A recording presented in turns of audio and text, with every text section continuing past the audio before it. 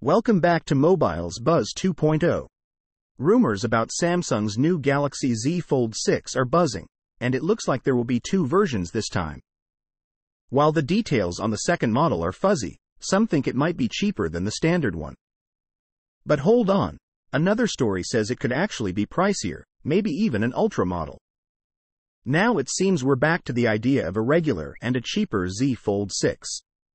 Why all the fuss? Well, Samsung wants to stay ahead in the foldable phone game. They're thinking of making a more affordable option, kind of like their Galaxy Fan Edition phones. This might mean cutting back on some fancy features to keep the price down. As for what's inside, expect a powerful Snapdragon processor and some cool AI tricks. The screen could be bigger, brighter, and tougher, and the camera system might get a boost too. We're still waiting to hear about the fast charging and other details, but the Z Fold 6 is expected to hit stores in August 2024, starting around $850.